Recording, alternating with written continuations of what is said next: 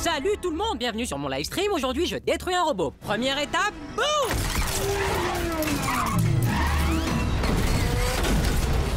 Ça a marché